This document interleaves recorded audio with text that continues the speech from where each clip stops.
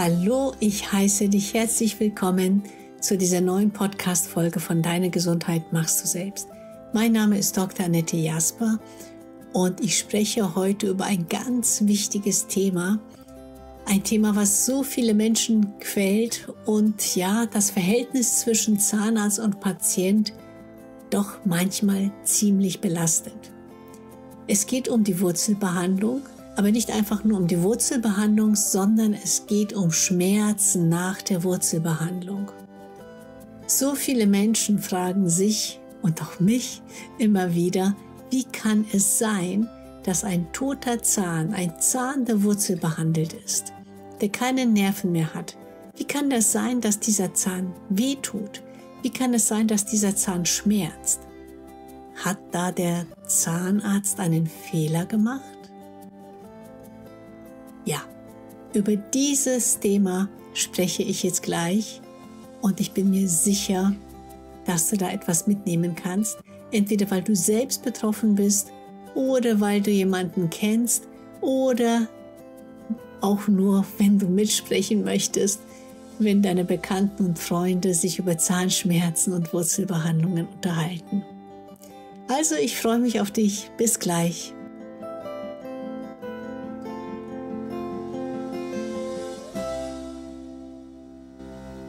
Ganz ehrlich, so ein toter Zahn kann wirklich nerven. Ich habe in einer vorhergehenden Podcast-Folge und eigentlich schon in mehreren Podcast-Folgen über Wurzelbehandlungen gesprochen, wie eine Wurzelbehandlung durchgeführt wird, ähm, dass tote Zähne auch den Körper, das System belasten. Aber heute geht es ganz speziell darum, warum ein toter Zahn überhaupt noch wehtun kann. Und was ist denn da los? Was kann denn da überhaupt wehtun? Der Nerv ist doch weg. Der Zahn ist doch tot oder eben doch nicht. Also erst einmal möchte ich vorab schicken, dass sowohl Patient als auch der Zahnarzt, dass wirklich beide Parteien ganz frustriert sind. Und ich muss auch sagen, für mich fühlt es sich auch immer noch wie so eine Niederlage an, wenn ich eine Wurzelbehandlung gemacht habe und der Patient wiederkommt und sagt, der tut weh, der beruhigt sich nicht. Ich weiß, ich habe alles richtig gemacht. Ich weiß, mehr an Wurzelbehandlung kann ich da nicht tun.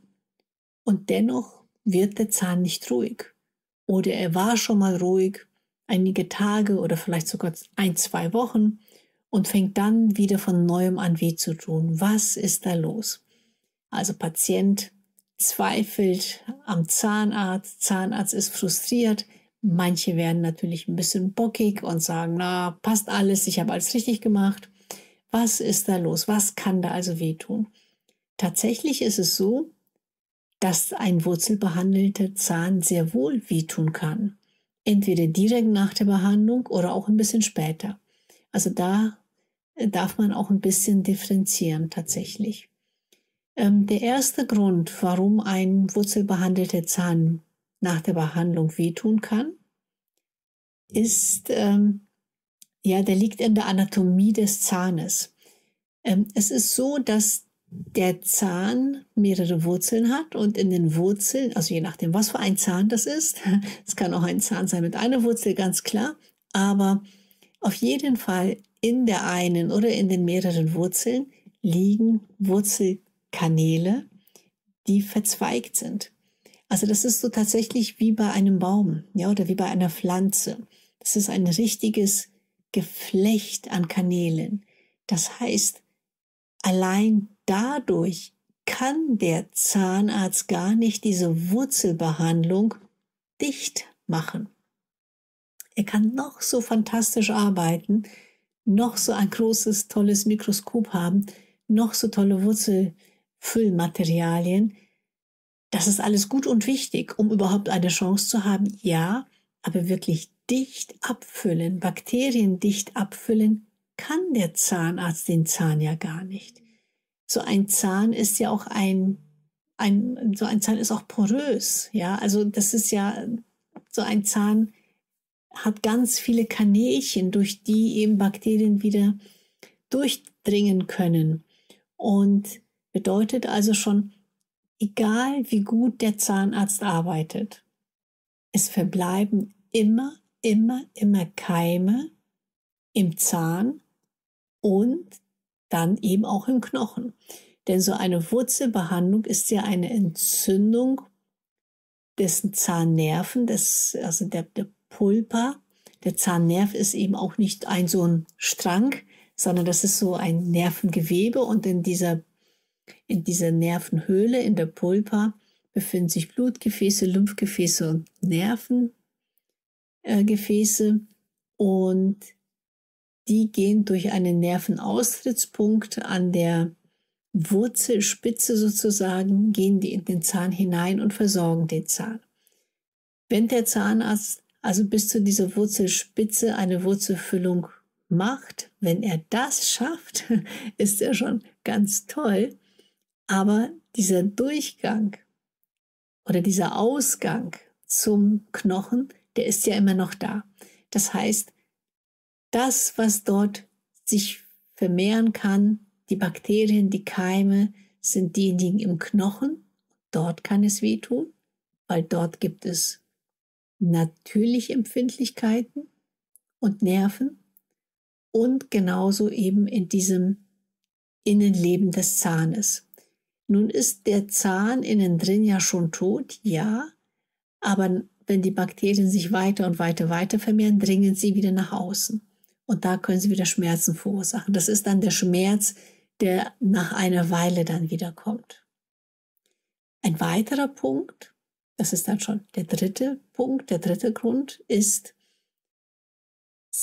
sehr häufig, beziehungsweise häufiger als man denkt, liegen tatsächlich auch äh, Frakturen vor. Also, dass wirklich Risse und Sprünge, Brüche, Längsfrakturen in der Wurzel sind. Und die sind auf einer Röntgenaufnahme meistens nicht zu erkennen. Schon gar nicht auf einer zweidimensionalen Röntgenaufnahme. Und diese Bereiche, die tun dann bei Belastung immer weh.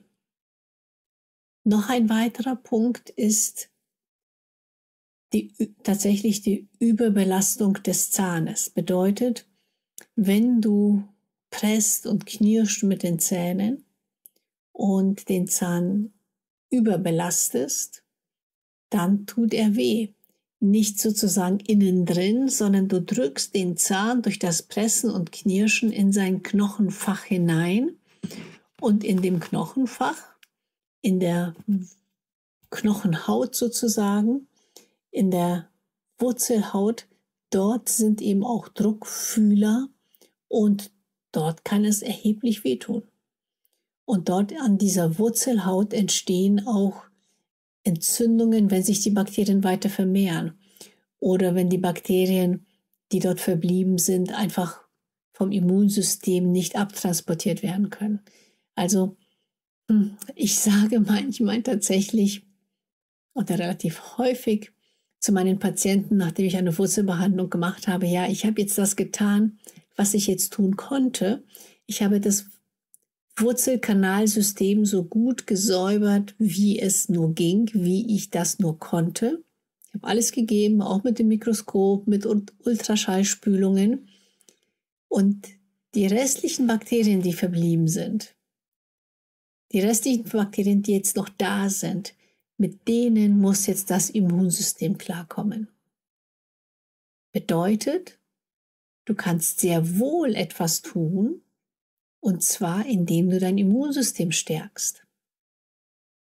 Ja, weil in dem Augenblick, in dem du dein Immunsystem stärkst, du eine starke Abwehr ausbildest, ist dieser Zahn nicht mehr so eine Belastung und die Keime können eben besser abgebaut werden. Und dann gibt es noch einen letzten Grund für Zahnschmerzen nach einer Wurzelbehandlung. Das ist der fünfte Grund dann. Und zwar, wenn eine akute Entzündung in der Zahnfleischtasche vorliegt. Ja, dann tut dieser Zahn eben auch weh. Bedeutet, diese Zahnfleischtasche gehört gesäubert, möglicherweise auch da wieder das Immunsystem gestärkt. Es ist dann eben die Frage, warum ist diese Zahnfleischtasche so akut entzündet? Hast du dort nicht so gut geputzt? Hast du dich da vielleicht nicht getraut, weil der Zahn vorher wehgetan hat? Oder ist diese akute Entzündung der Zahnfleischtasche nicht nur an diesem einen Zahn, sondern auch noch an anderen Zähnen und liegt vielleicht sogar eine Parodontitis vor. Und da sind wir aber bei einem ganz anderen Thema, deswegen will ich dieses Thema gar nicht aufmachen, gar nicht anfangen damit. Dazu gibt es auch einige Podcast-Folgen, da brauchst du nur so ein bisschen zu suchen in dem Feed. Aber auch dies kann Schmerzen nach einer Wurzelbehandlung verursachen. Das ist dann nichts, was direkt danach passiert, sondern nach einer Weile.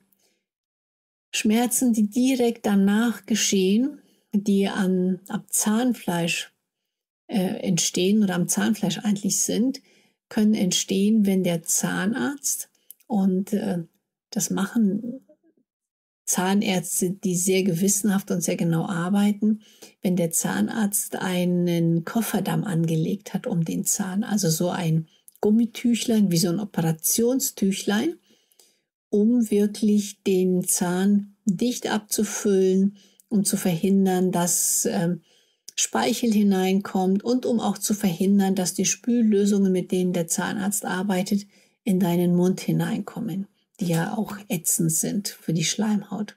Also so ein Tüchlein, so ein Kofferdammtüchlein wird mit einer Klammer am Zahn befestigt und diese Klammer, die äh, kann sehr wohl das Zahnfleisch auch etwas eindrücken und das spürst du dann möglicherweise, je nachdem wie die Klammer gesetzt worden ist und wo der Zahn nun liegt, möglicherweise spürst du das einfach ein paar Tage noch. Du spürst auch möglicherweise ein paar Tage noch nach der Wurzelbehandlung überhaupt ähm, sozusagen, hm, ja, dass da quasi was gemacht worden ist, weil der Zahnarzt, wenn er es schafft, wirklich dieses Kanalsystem bis zur Wurzelspitze zu spülen und zu säubern, dann kannst du dir vorstellen, dann kommt, kommt auch diese Spülmittel, diese Spülflüssigkeit, die kommt auch quasi direkt an der Wurzelspitze an und geht möglicherweise so ein bisschen nach draußen, also in den, ähm, in den, ja, in den umliegenden Knochen ist schon zu viel gesagt, aber in dieses Gewebe direkt an der Wurzelspitze. Das heißt, dieses Gewebe wird möglicherweise durch die Spüllösung und durch die, das Wurzelfüllmaterial, durch die Wurzelfüllung etwas gereizt. Ja, also wenn du so ein, zwei Tage danach noch ein bisschen Aufbissprobleme hast, noch ein bisschen Schmerzen am Zahn, das ist relativ normal. Natürlich ist es wünschenswert, wenn du nichts spürst danach, aber es ist normal. Und alles, was darüber hinausgeht, ja, das kann auch alles sein. Der Zahn kann und darf noch eine Weile etwas druckempfindlich sein, aber nicht so sehr, dass du eine Schmerztablette nehmen musst. Ja, also so sehr nicht, sondern einfach nur so, dass du beim Essen, beim Kauen, wenn du was Hartes isst, dass du diesen Zahn lieber meidest. Das ist normal für eine Weile. Irgendwann solltest du aber diesen Zahn genauso belasten können wie jeden anderen Zahn. Ja, fairerweise möchte ich aber noch dazu sagen, dass sich sehr viele tote Zähne einfach wirklich anders anfühlen. Ja, die sind ja auch anders. Also, die, die also, wenn du sensibel bist, dann spürst du einfach, dass dieser Zahn sich anders anfühlt. Wenn ein Zahnarzt diesen Zahn abklopft, also verschiedene, auf verschiedene Zähne so klopft, so einen Klopftest macht, hast du vielleicht schon mal gehabt, dann hört dieser Zahn sich ja auch anders an. Er ist ja einfach anders. Also insofern, an diesem Zahn ist etwas anderes passiert als an anderen Zähnen und so ist es nun mal. Punkt bedeutet aber nicht, dass du dort immer und ewig Schmerzen haben solltest. Jedoch bedenke, ein wurzelgefüllter Zahn, der ist, der, der sondert immer Gifte in deinen Körper ab. Bedeutet, wenn der Zahnarzt diese Wurzelfüllung aufgrund eines, einer, sehr großen Verflechtung der Wurzelkanäle nicht so dicht machen konnte, wie sowohl er als auch du dir das wünscht, sondern der Zahn natürlich mehr Gifte ab in den Körper, als ein Zahn, der wirklich eine ganz gerade Wurzel hat, vielleicht ein Schneidezahn ist, wo das Ganze einfach einfacher ist. Nichtsdestotrotz sondert auch dieser Zahn Giftstoffe ab in den Körper. Und wenn du sehr sensibel bist, dann kann es sein, dass du das einfach spürst, dass du das einfach spürst. Und es kann sein, dass so ein Zahn eine zu große Belastung tatsächlich für deinen Organismus ist. Und in dem Fall müsste er tatsächlich entfernt werden. Übrigens kann man das auch messen, wie viele Giftstoffe der Zahn absondert. Und zwar heißt dieser Test Orotox-Test. Man kann mit dem Orotox-Test wirklich die Gifte, die in die in den Parodontalspalt, also in den Spalt zwischen Zahn und, und Zahnfleisch, also in der Zahnfleischtasche ähm, abgesondert werden, die Gifte kann man messen. Dieser Test geht schmerzfrei und relativ zügig in der Zahnarztpraxis, also wenn dein Zahnarzt das anbietet. Bei mir ist das eine sehr äh, ja, beliebte Methode, wenn ich ähm, ja herausfinden möchte, ob ein wurzelbehandelter Zahn ja raus muss oder nicht. Ne? Also wenn es darum geht, okay, ähm, ich äh, habe als Aufgabe eine Herdbelastung rauszufinden, dann bediene ich mich ganz, ganz gerne dieses Testes. Nicht nur dieses Testes, sondern auch andere Verfahren, aber das ist mit ein Tool, welches ich ganz, ganz gerne verwende. Ja, das war, war die Folge zu den Schmerzen am toten Zahn. Ich hoffe, ich konnte dir etwas helfen mit dieser kleinen und kurzen Podcast-Folge über Schmerzen am toten Zahn. Ich mag das ganz gerne für dich nochmal zusammenfassen. Es sind letztlich fünf Gründe. Einmal Aufgrund der Anatomie des Zahnes ist es gar nicht möglich, die Wurzelfüllung so dicht zu gestalten, dass wirklich alle Bakterien im Zahn entfernt werden. Zweitens, es verbleiben auch Keime im Knochen, mit denen das Immunsystem meistens fertig wird, jedoch nicht immer und auch nicht immer so schnell. Drittens, kann auch eine, ein Bruch in der Wurzel vorliegen. Viertens, der Zahn kann überlastet sein. In dem Fall wird er vom Zahnarzt etwas niedriger geschliffen, etwas eingeschliffen. Und es kann auch eine akute Entzündung der Zahnfleischtasche vorliegen. Also das alles sind Gründe für Schmerzen am toten Zahn. Wenn die Schmerzen aber direkt nach der Behandlung, also wenn ein Tag davor die Behandlung war, wenn die direkt nach der Behandlung auftreten, dann kann das einfach auch noch eine Reizung des Gewebes sein aufgrund der Wurzelfüllung und aufgrund der Spüllösungen, die der Zahnarzt verwendet hat. Oder aufgrund der Klammer, mit der ein Tüchlein, ein Kofferdamm am Zahn befestigt worden ist. Sehr gerne kannst du dir zu dieser Folge noch den entsprechenden äh, Blogartikel auf meiner Webseite dranetejasper.de durchlesen, wenn du es nochmal schriftlich haben willst. Oder du schaust bei YouTube vorbei und schaust dir da die Folge dazu an. Übrigens lade ich dich sowieso auf YouTube, auf meinen YouTube-Kanal ein.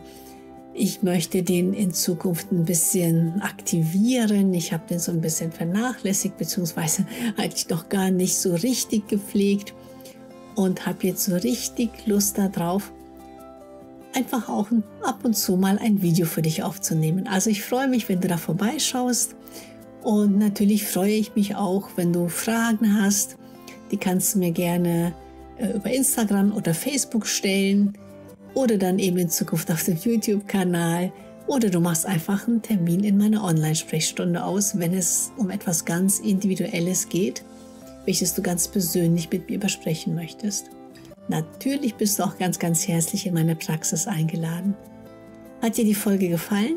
Dann teile sie ganz gerne mit deinen Freunden, denn Wurzelbehandlungen sind immer wieder ein Thema und wenn sie dir richtig gut gefallen hat, dann freue ich mich über deine Bewertung. Nimm dir ein bisschen Zeit und schreibe mir eine positive Bewertung. Somit hilfst du dem Podcast, bekannter zu werden und einfach von mehr Menschen aufgefunden zu werden. Nun wünsche ich dir aber einen schmerzfreien Tag. Pass gut auf dich auf und schalte nächste Woche wieder ein. Bis dahin. Ciao, ciao.